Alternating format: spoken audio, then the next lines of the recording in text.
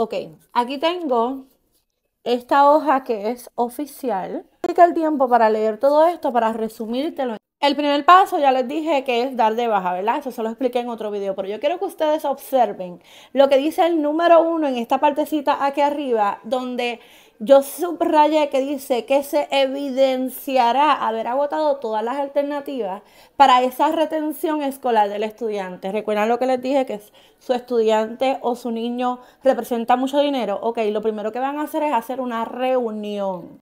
Y dependiendo de cuándo fue que usted le dio de baja, si fue en verano o fue inicio de año, va a depender lo que va a decir su documento aquí, que también se los voy a poner en cuando usted va a dar de baja, este es el documento que se supone que ellos te firmen.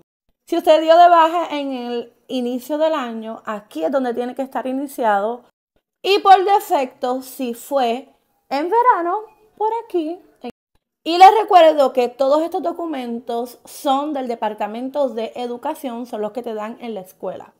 Luego de ellos, poner ese checkmark ahí, firmar y haberte tratado de convencer de que no des de baja, ellos sencillamente van a firmar tu baja y te van a suponer que le den dos documentos, el que le mostré y otro que es un formulario que honestamente no tengo ahora mismo y todos los documentos que usted entregó en un inicio de año para ingresarlo a la escuela. Y como ya hemos hablado en otras ocasiones, si usted está en escuela privada, simplemente da de baja, rompe el contrato o sencillamente espera que se cumpla ese lapso y usted, mire, empieza a dar homeschooling, contactas a alguien que tenga un grupo de homeschool y a iniciar porque esa líder se supone que sea algo de apoyo para ti durante este proceso.